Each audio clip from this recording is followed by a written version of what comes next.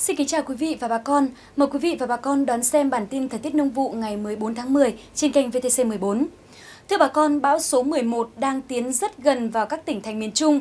Vào hồi 13 giờ ngày hôm nay, vị trí tâm bão cách bờ biển các tỉnh Quảng Trị đến Quảng Ngãi khoảng 220 km về phía đông.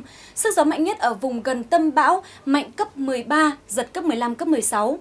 Dự báo trong 12 giờ tới, bão di chuyển theo hướng giữa Tây và Tây Tây Bắc. Đến 1 giờ ngày mai, vị trí tâm bão ở vào khoảng 16,1 độ Vĩ Bắc, 108,3 độ Kinh Đông, ngay trên vùng bờ biển các tỉnh Quảng Trị, Quảng Ngãi. Sức gió mạnh nhất ở vùng gần tâm bão mạnh cấp 12, giật cấp 13, cấp 14. Trong khoảng 12 đến 24 giờ tiếp theo, bão di chuyển chủ yếu theo hướng Tây và đến 13 giờ ngày 15 tháng 10, vị trí tâm bão ở vào khoảng 16,2 độ Vĩ Bắc, 106,5 độ Kinh Đông trên khu vực Nam Lào. Sức gió mạnh nhất ở vùng gần tâm bão mạnh cấp 8, giật cấp 9, cấp 10. Trong khoảng 24 đến 36 giờ tiếp theo, bão tiếp tục di chuyển chủ yếu theo hướng Tây, đi sâu vào đất liền rồi suy yếu thành áp thấp nhiệt đới. Sau đó áp thấp nhiệt đới tiếp tục suy yếu thành một vùng áp thấp. Đến 1 giờ ngày 16 tháng 10, vị trí trung tâm vùng áp thấp ở vào khoảng 16,2 độ Vĩ Bắc, 105,2 độ Kinh Đông trên khu vực biên giới Lào, Thái Lan. Sức gió mạnh nhất ở trung tâm vùng áp thấp giảm xuống dưới cấp 6. Do ảnh hưởng của bão, vùng biển quần đảo Hoàng Sa ngày hôm nay còn có gió mạnh cấp 9, cấp 10. Vùng gần tâm bão đi qua cấp 12, cấp 13, giật cấp 15, cấp 16, biển động dữ dội. Khu vực Nam Vịnh Bắc Bộ, vùng biển ngoài khơi các tỉnh từ Quảng Trị đến Bình Định, bao gồm cả đảo Lý Sơn và Cồn Cỏ, có gió mạnh cấp 7, cấp 8, sau tăng lên cấp 10, cấp 11, vùng gần tâm bão đi qua mạnh cấp 12, cấp 13, giật cấp 15, cấp 16, biển động dữ dội. Trở vào với đất liền, từ chiều tối nay các tỉnh từ Hà Tĩnh đến Quảng Ngãi sẽ có mưa vừa, mưa to đến rất to, kèm với đó là gió mạnh cấp 6, cấp 7, vùng gần tâm bão cấp 10, cấp 12, giật cấp 13, cấp 14. Bà con ven biển cần đề phòng nước biển dâng kết hợp với thủy chiều cao từ 3 đến 4 mét. Tiếp theo xin mời bà con cùng theo dõi phần dự báo chi tiết đêm nay và ngày mai cho các tỉnh vùng trên cả nước.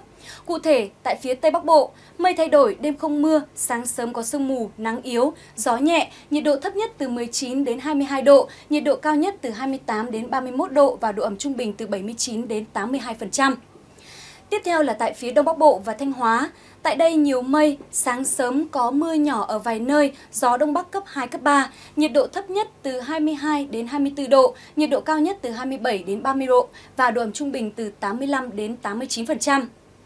Thưa bà con, miền Bắc trong những ngày sắp tới có khả năng sẽ đón nhận một đợt không khí lạnh. Để chủ động chăm sóc phòng chống rét và phòng trừ dịch hại cho cây trồng trong đợt rét này, bà con cần chú ý một số biện pháp sau đây. Thứ nhất là phải bảo đảm chế độ nước tưới thích hợp với cây trồng, với các loại cây khác nhau, tùy theo yêu cầu của từng loại cây mà áp dụng các phương pháp tưới. Thứ hai là bón bổ sung thêm kali, phân lân, giảm bón đạm để cây khỏe mạnh, tăng cường khả năng chống rét. Thứ ba là phải đối với lạc thì đối với lạc hay là đậu tương, ớt cũng như là ngô xuân thì bà con cần chú ý không gieo trồng trong những ngày giá rét, nhiệt độ thấp dưới 15 độ cho dù thời vụ đã đến. Tiếp theo, bà con cần tưới đủ ẩm theo nhu cầu dinh dưỡng của từng cây trong những ngày rét đậm. Trở lại với thời tiết đêm nay và ngày mai tại các tỉnh từ Nghệ An đến Thừa Thiên Huế. Tại đây thì nhiều mây, có mưa vừa mưa to, phía Nam có nơi mưa rất to và rông. Gió Tây Bắc cấp 4, cấp 5, phía Nam là gió xoáy, có lúc mạnh cấp 7, giật trên cấp 7. Nhiệt độ thấp nhất là từ 22 đến 25 độ, nhiệt độ cao nhất từ 26 đến 28 độ và độ ẩm trung bình từ 93 đến 98%. Tại các tỉnh ven biển từ Đà Nẵng đến Bình Thuận, tại đây thì nhiều mây có mưa, riêng phía Bắc thì có mưa vừa, mưa to, có nơi mưa rất to và rông. Gió Tây Bắc cấp 6 có lúc mạnh trên cấp 7, nhiệt độ thấp nhất là từ 22 đến 24 độ, nhiệt độ cao nhất từ 26 đến 28 độ và độ ẩm trung bình là từ 90 đến 95%.